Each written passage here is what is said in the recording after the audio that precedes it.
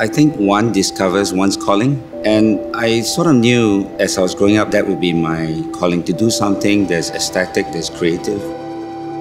I did my professional studies at Yale in architecture. And then I realized that architecture is not just a science and art, but something much broader, something very encompassing and holistic. We approached the Leedon team and they allowed us to actually handle all disciplines, which is a big commitment, considering that this is a large project with huge landscape ground, huge interior elements. And we wanted to push it even one more step further. We want to also move towards some custom elements, some product design. When an architect with a strong vision is given the opportunity to control the different elements and disciplines such as landscape interior, you could approach the design very early on in a holistic manner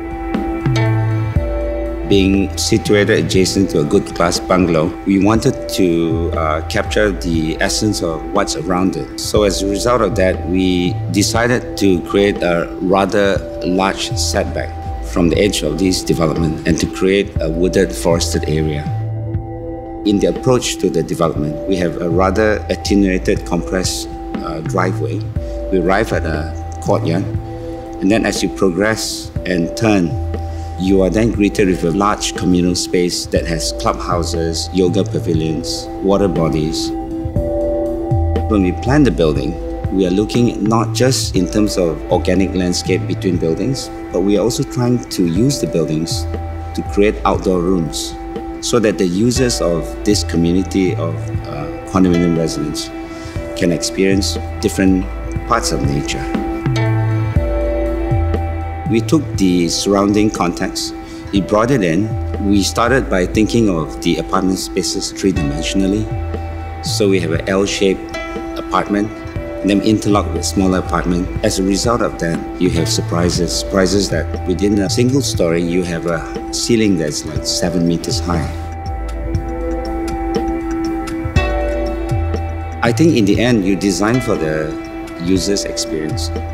I consider myself to be a humanist and less of a formalist. In a way, I think the approach is very classical. Classical in the sense that you are very concerned about the human response to a series of composed spaces.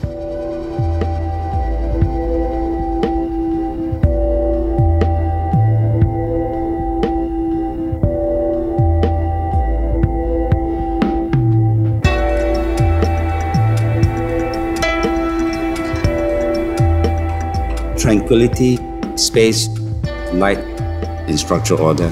With those primary elements of architecture, you could create a product that's strong enough to stand on its own. I aspire to create spaces that are very tranquil and that could move the human spirit. It's with those aspirations that I designed Leedon Residence.